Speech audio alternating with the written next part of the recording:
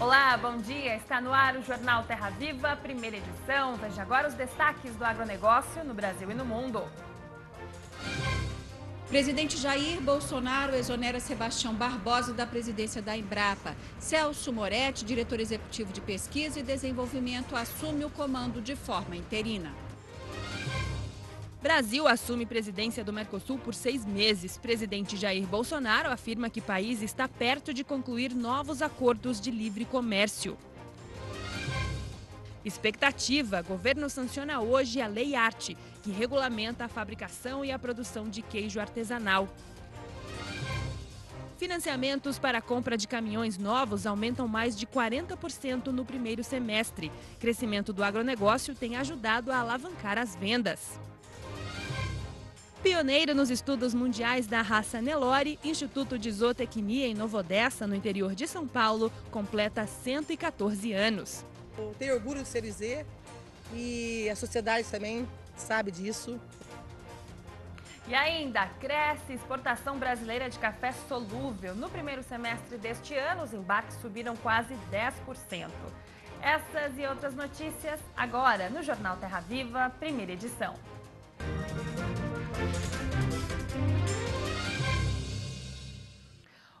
Vice-presidentes de agricultura do BRICS, bloco formado por Brasil, Rússia, China, Índia e África do Sul, estão no Brasil.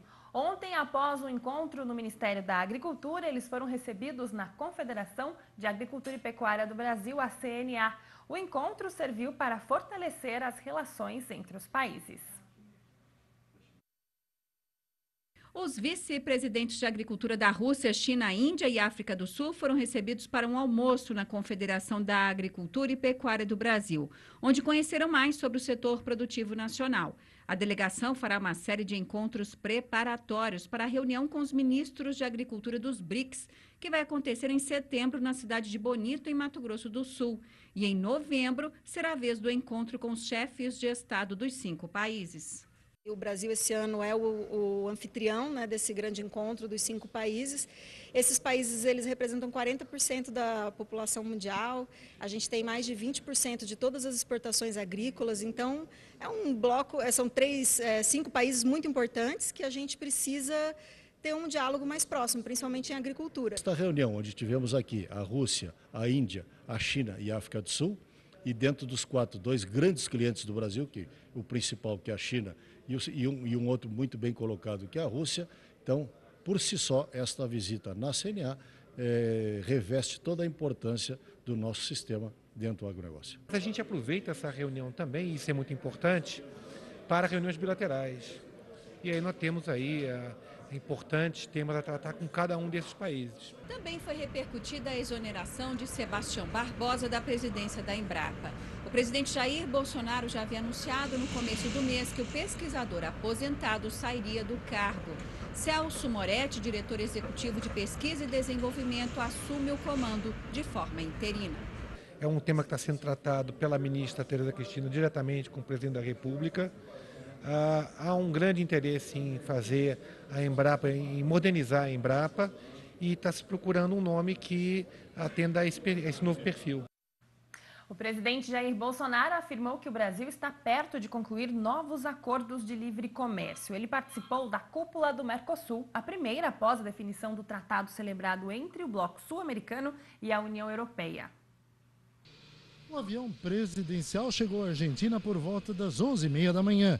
Jair Bolsonaro participou em Santa Fé da 54ª reunião da cúpula do Mercosul e assumiu a presidência temporária do bloco, formado por Brasil, Argentina, Paraguai e Uruguai.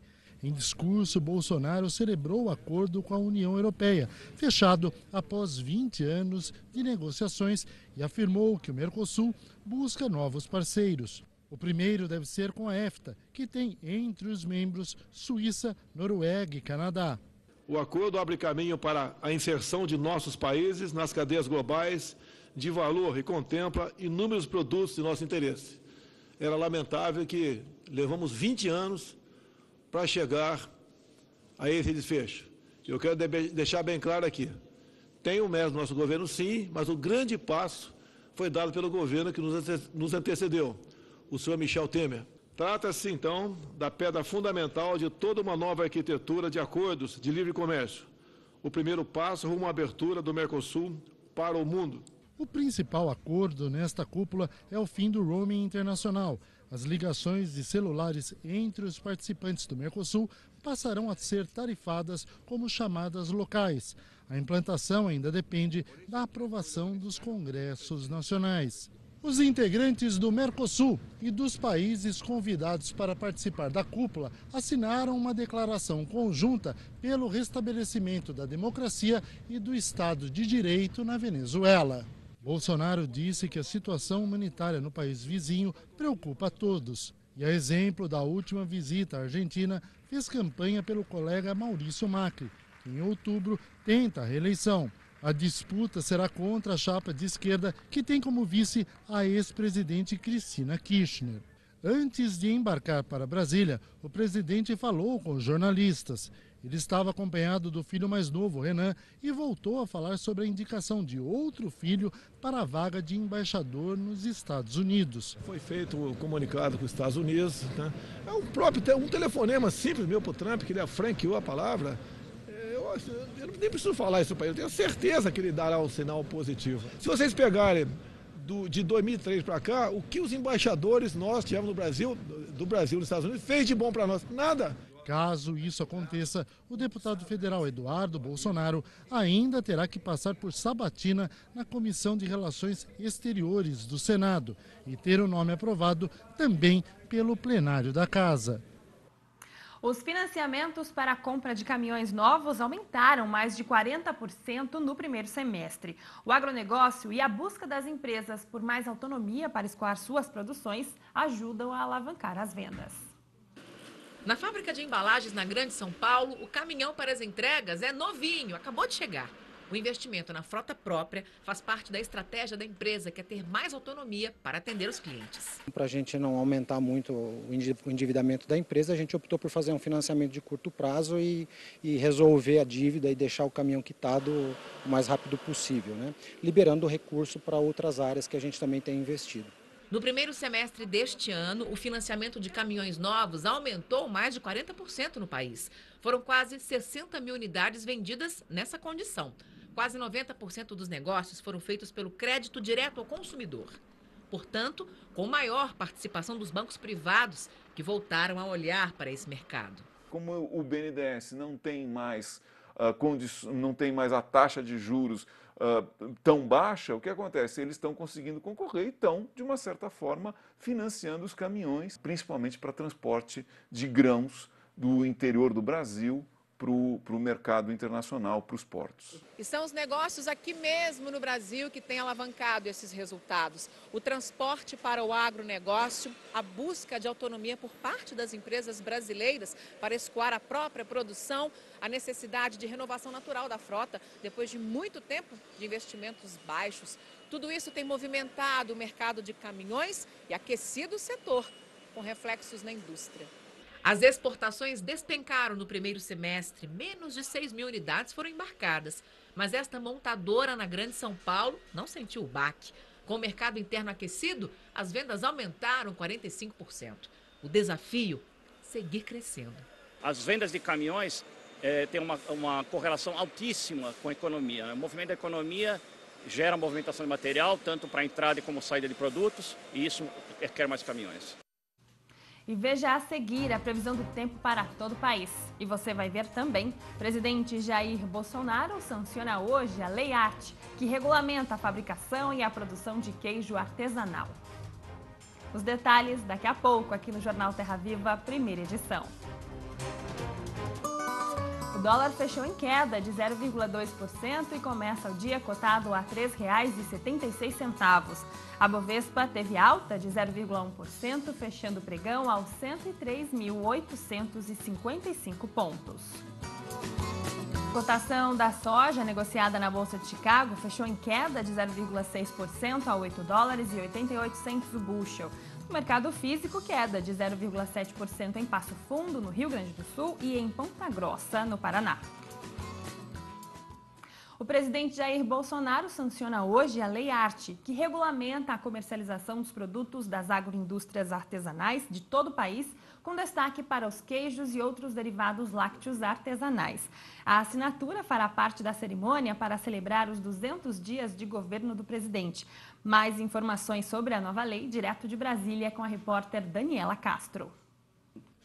Cerca de 100 mil agricultores familiares que produzem queijos artesanais a partir do leite cru obtido na propriedade rural vão ser beneficiados com a lei que legaliza a utilização desse tipo de queijo. Sobre esse assunto, a gente conversa agora com o deputado Zé Silva, do Solidariedade de Minas Gerais, que é um dos autores desse projeto recentemente aprovado no Congresso Nacional. Então, uma lei esperada já há muitos anos, né, deputado?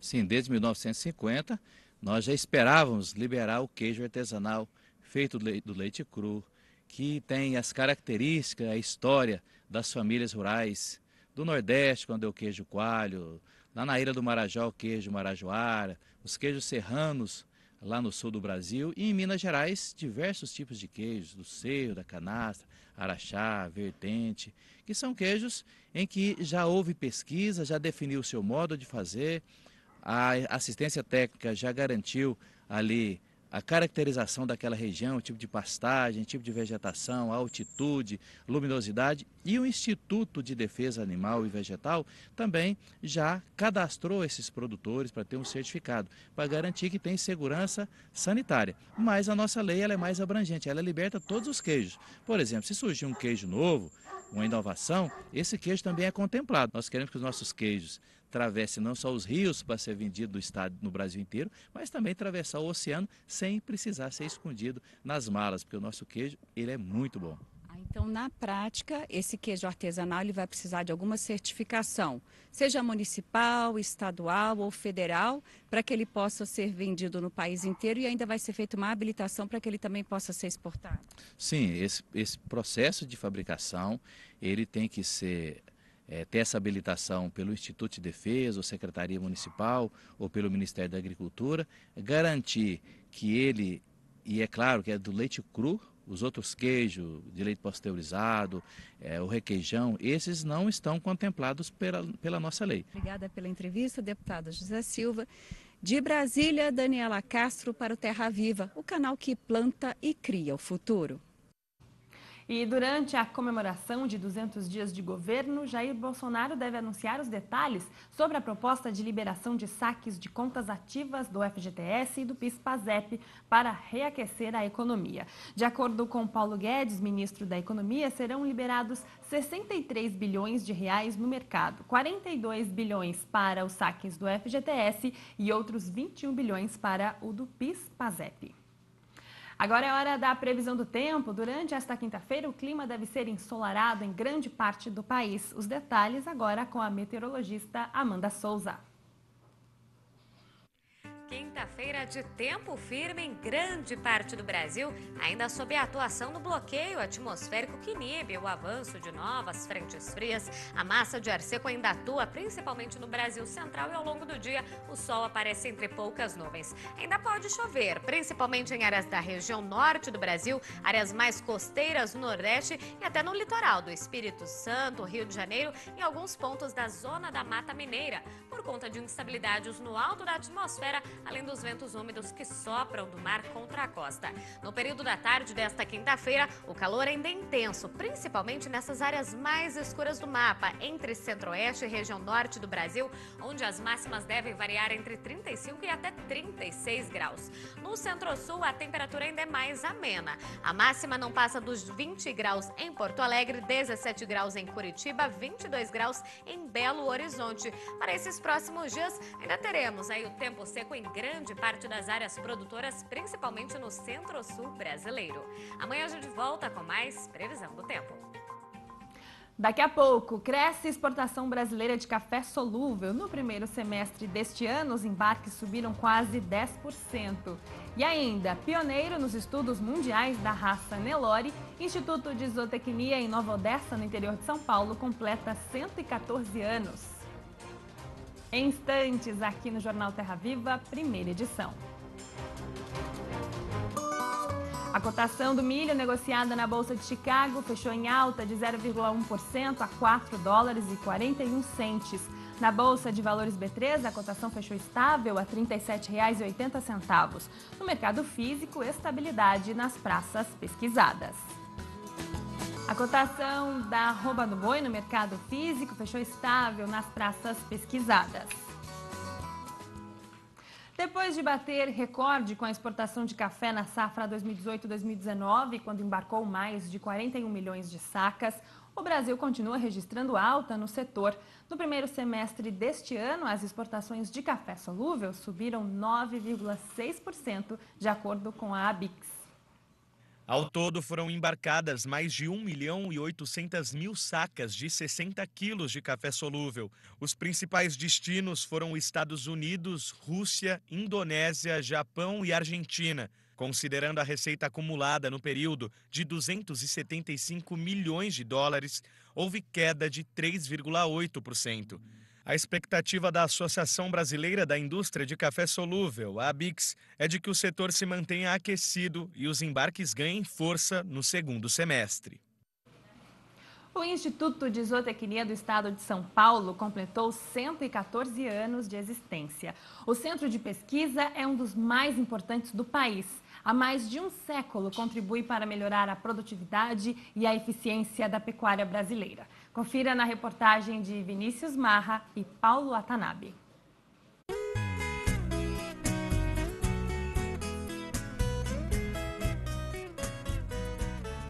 A sede do Instituto de Zootecnia fica em Nova Odessa, no interior paulista. São quase 900 hectares bem no meio do município, destinados à pesquisa científica de ponta. Há mais de um século, a instituição ligada à Secretaria de Agricultura do Estado ajuda a melhorar a pecuária do país.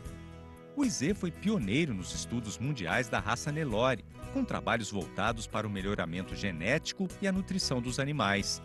No centro de pesquisa foi feita também a primeira seleção do gado caracu e a primeira prova de peso de bovinos de corte, além da introdução no país de raças europeias leiteiras, para o cruzamento entre zebuínos, com o objetivo de obter raças mais rústicas e produtivas. A produção sustentável da carne, a produção sustentável do leite e os sistemas de produção da agropecuária, onde que envolve todos os sistemas de como melhorar as pastagens, né, por, com obtenção de forragens e gramíneas, né. O Instituto de Zootecnia é um dos seis no estado de São Paulo voltados para as pesquisas agropecuárias o segundo mais antigo, ficando atrás apenas do IAC, o Instituto Agronômico de Campinas, que completou 132 anos.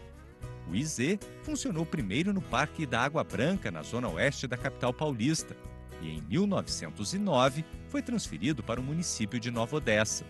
A Secretaria tem como missão aí é, promover a oferta de alimentos é, sustentáveis, alimentos saudáveis, seguros à população e o trabalho de pesquisa é fundamental para que isso aconteça.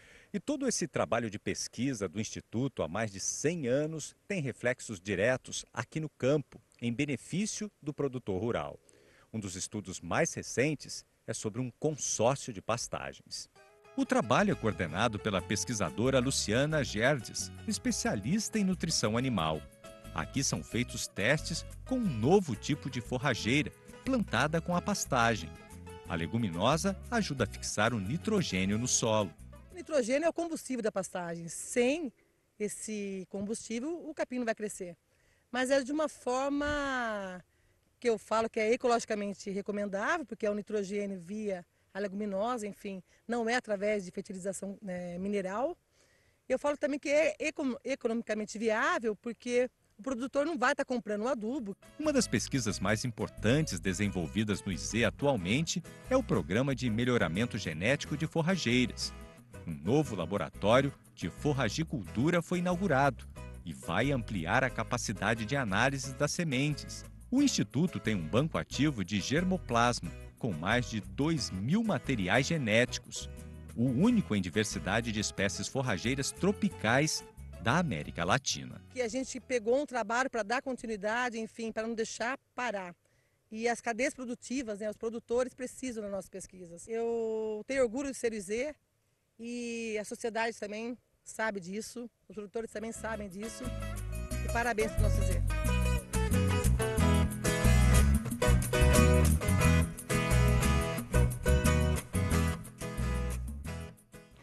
O Jornal Terra Viva, primeira edição, termina aqui. Você pode rever todo o conteúdo no site tvterraviva.com.br ou no novo aplicativo do canal disponível no Google Play.